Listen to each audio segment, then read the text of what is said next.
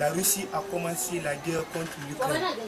Nous voulons exprimer notre soutien à l'Ukraine et au peuple ukrainien. Pour tout le monde progressiste est vraiment uni pour soutenir l'Ukraine. Parce qu'il ne s'agit pas d'une simple guerre entre deux pays. C'est peut-être une question de bataille finale entre le mal et le bien. Le peuple ukrainien se bat contre les plus terribles malfaiteurs du monde. Les envahisseurs, les envahisseurs russes. Cela signifie que les Ukrainiens défendent toute l'humanité progressiste.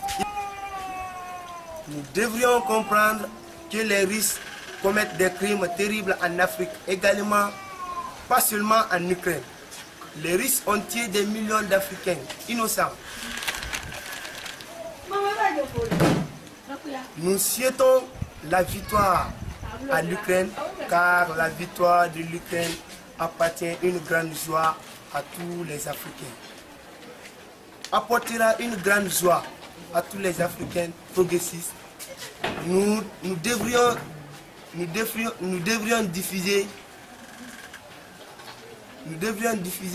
de vraies informations, de vraies nouvelles sur les événements, sur les crimes des Russes en Ukraine.